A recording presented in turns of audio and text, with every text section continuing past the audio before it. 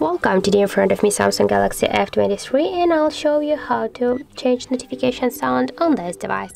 So first you should go into the settings app and then click on the sounds and vibration. Now just tap here on the uh, on the notification sound here as can you see we got selected the Spaceline and now just by select one from these available sounds. You can select one from the sounds for example the game one. Now just go back and by this way you can save your new notification tone.